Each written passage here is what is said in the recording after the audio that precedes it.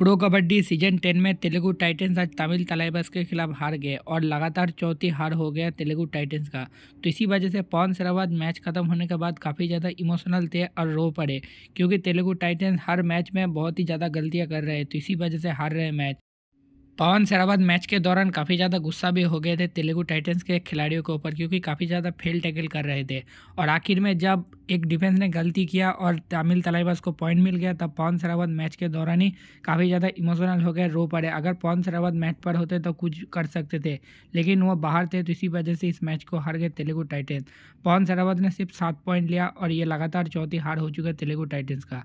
तो वीडियो अच्छी लगे तो लाइक करें।